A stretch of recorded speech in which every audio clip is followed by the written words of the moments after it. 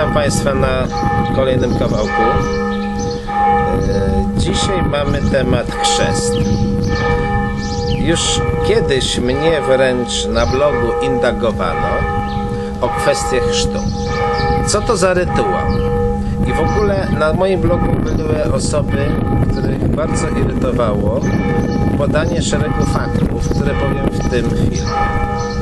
Wszystko się zaczęło od tego, od pewnego filmu, który był zrobiony e, w telewizji rosyjskiej, gdzie wypowiadali się Fomienko i Nosowski. Kim są ci dwaj panowie? To są spece od e, tak zwanej nowej chronologii. I oni badając różne kultury, zaczęli właśnie od Egiptu i badając te kultury, oni zwracali uwagę na czas, ponieważ byli od chronologii czas, ale po drodze znaleźli właśnie coś. I mnie wręcz męczono, żebym przetłumaczył z rosyjskiego na polski ten film. Oczywiście tego nie zrobiłem, bo nie było czasu. A natomiast y, trzy czwarte filmu o nowej chronologii to przetłumaczyłem, ale jest to oddzielny temat. Ale co ci dwaj panowie znaleźli, y, jak badali y, kwestie kultury Egiptu, starożytnego Egiptu. I właśnie znaleźli, że 6 stycznia było tak zwane święto Nilu, gdzie zanurzali się w Nilu faraon i jego podwładni. I to był tak zwany chrzest. To, co my nazywamy chrzest, to jest zanurzenie. I tutaj jedni mówią tak, pokropić, a drudzy mówią, że trzeba się zanurzyć. I teraz tak. Y, Co to było najciekawsze y, z tego wszystkiego? Ponieważ znaleźli taki przykład tego zanurzenia rytualnego, bo to był pewien rytuał religijny, a więc święto Nilu, czyli Nil był używany za bóstwo, a więc trzeba było w tym bóstwie się zanurzyć. Panie Mariuszu, mogę przy... y, tylko na sekundę. Skąd dochodzą te straszne dzwony? Jesteśmy na placu kościelnym. Ja tylko najadę na tą wieżę. Sekundkę. Tu Państwo widzicie właśnie stamtąd cały ten. E, tak to się. Na jedną z tych zlewem można wjechać. E, no i stamtąd te dzwony dochodzą. Plac kościelny we Wrocławiu. Dziękuję bardzo. Proszę kontynuować. A, a ja zapomniałem. To jest właśnie cały problem kręcenia, kiedy coś się y, powiedzmy no, przerwie, no bo chcemy coś ciekawego powiedzieć, nie? Ale wtedy trochę nas wybija z tego rytmu, ale nic nie szkodzi, poradzimy sobie. Czyli teraz sobie przypomniałem, a więc możemy kontynuować na lajcie. Czyli zanurzenie w Nilu było świętem Nilu, czyli Nil był używany za bóstwo. A dlaczego był bóstwem? Ponieważ miał okresowe wylewy, tak zwane powodzie, które zaurzyźniały tereny nadbrzeżne i w ten sposób y, przy ogromnej, przy y, wysokiej temperaturze, przy dużej ilości wody można było nawet w tamtych czasach starożytności pobierać z ziemi trzy plony. Trzy razy do roku plon. A więc y, było to bardzo wy, y, ważne wydarzenie, gdzie Nil był tak naprawdę bokiem. Czyli trzeba było się zanurzyć w boku. Bardzo ważna kwestia, to jest taka religijna. I dzisiaj, i teraz tak, to zostało powtórzone y, w formie tak zwanego chrztu, czyli zanurzenia y, w Nowym Testamencie. Tylko tu jest, w Nowym, z Nowym Testamentem jest poważny problem. Otóż Ewangelie 4 dzielą się, że trzy stanowią tak zwane Ewangelie synoptyczne i jedna duchowa, czyli Jana. W tych trzech ten, to, ten chrzest, zanurzenie jest opisane bardzo dokładnie, natomiast w Ewangelii Jana jest to fragmentarycznie i ma cechy dopisywania do tej Ewangelii. A więc nie są takie dokładnie sprecyzowane, tak jak sprecyzowane w synoptycznych. Swego czasu na blogu była istna właśnie bitwa, jakie są te Ewangelie synoptyczne. Czy one pochodzą od Boga, czy też nie. No i oczywiście stanęło na tym i przedstawiło się dowody, że nie ma to cech prawdopodobieństwa tak zwanego natchnienia Bożego. A więc zostało to jakby ten starożytny rytuał y, zanurzenia w Nilu przeładowany do Nowego Testamentu i sprzedany jako tak zwana wiara chrześcijańska. Ale to jest pleb. Czyli chrzest tak naprawdę to jest akt kultu diabła. Oczywiście dla niektórych to jest szokujące, co mówię, ale e, poprzedni film o Iwo Jimie, to właśnie co to był?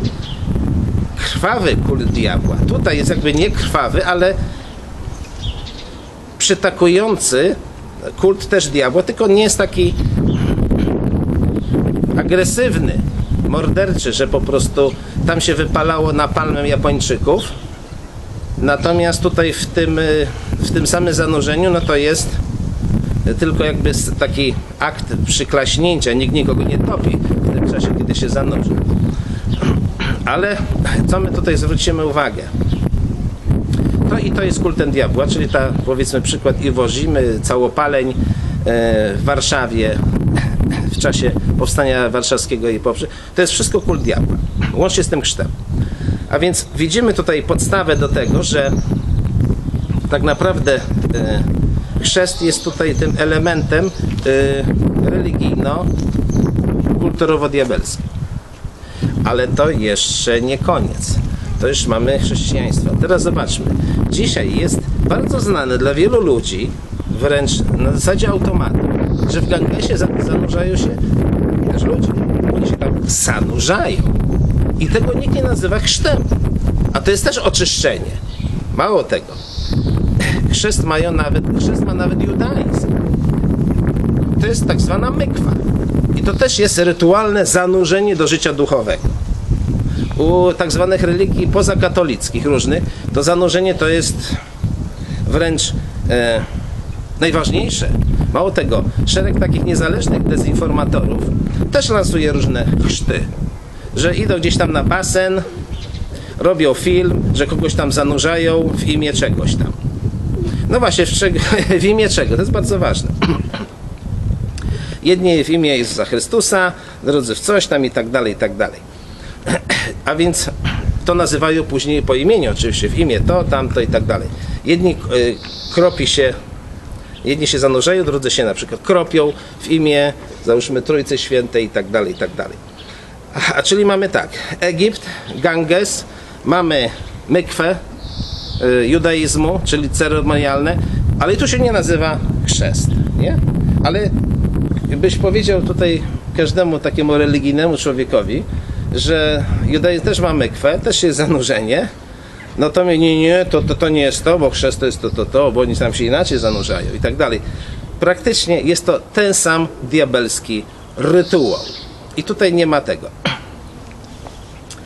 Czyli tutaj jest jakby. E, e, I ten rytuał tak, ma tutaj takie dwie drogi.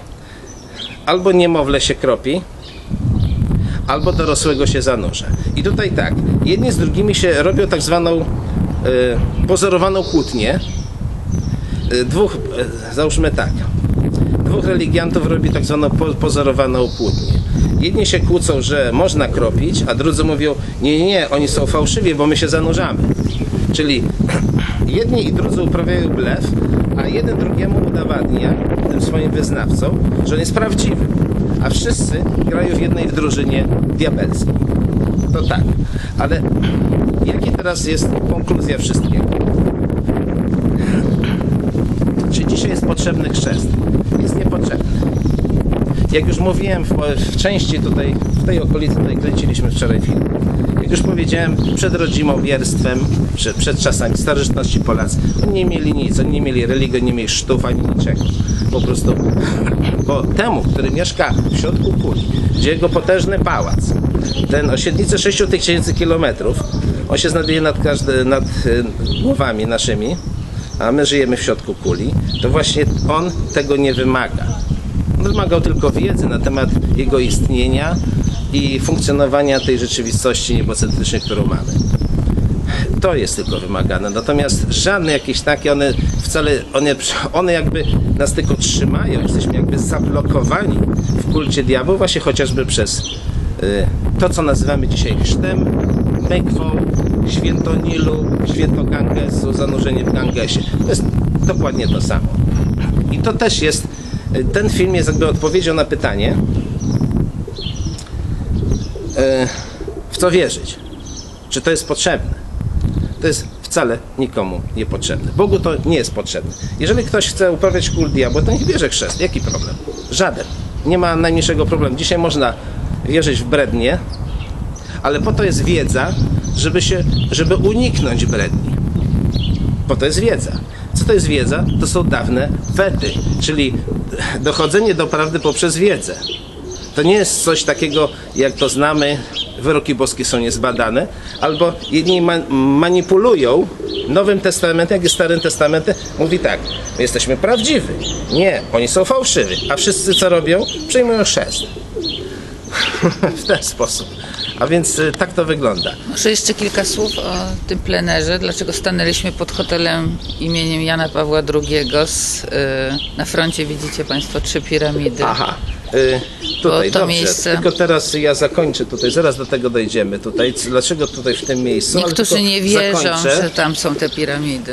y, Zakończę y, właśnie Kilka tym, że zakończę po prostu tą myśl odnośnie tego chrztu. Y, Zakończę tym, że mm, jest to element kultu diabła i powinniśmy się z tego wystrzegać. I to jest odpowiedź na to pytanie, w co, my, co mamy wierzyć. E, materiał dowodowy to jest zadanie domowe. Ja będę linkował elementy ze swojego bloga na ten temat, na temat Ewangelii. E, tutaj postaramy się w opisie do filmu wszystko zalinkować. Natomiast e, na pytanie, dlaczego my tutaj kręcimy, ponieważ jest taki dość e, spektakularny temat o tak zwanych kosmitach. I tutaj jakby nam wpada jakby tutaj tak, taka sugestia, budowlana sugestia, e, czym jest na przykład pas Oriona. Bo z pasu Oriona są tak zwani kosmici. No i ci, pa, spa, e, ci kosmici, właśnie oni są niby z tego pasu Oriona, ale ten pas Oriona to, to właśnie przedstawiają trzy piramidy, które mamy tutaj za plecami. Tak, widzimy je? Trzy nad tym hotelem. Mamy. Wiemy, że nagle brama się otworzyła. Tak. Tak, dobrze. Aha, brama się otworzyła. Brama, Tak. Mercedes wyjechał. Aha, dobrze, no akurat się brama Niemiecka otworzyła. wycieczka przechodziła, niemiecka flaga powiewa właśnie jako pierwsza. No dobra, ale my musimy skończyć pas temat. Oriona, tak. Pas Oriona. Że- Pas Oriona jest elementem, gdzie kosmici przychodzili. I akurat to przedstawia piramidy w Gizę. One są po prostu różnej wysokości, natomiast tutaj mamy trzy piramidy tej samej wysokości. A więc tu mamy takie jakby pozorowane podobieństwo. Nie jest to takie stuprocentowe podobieństwo, ale jest to jakby, jakby to powiedzieć, te piramidy są jakby takim elementem, który to sugeruje. E, A więc ich taki, jakby tutaj obecność też nie jest przypadkowa, więc y, można tutaj wy- wyciągnąć wniosek, że ten, który to projektował i to tak wsadził, on był świetnie zorientowany o tym, co my teraz tutaj mówimy. Że kosmici teoretycznie przyszli z pasu Oriona. Ale właśnie, kim są ci kosmici? E, No to już będzie następny kawałek. Także dziękujemy.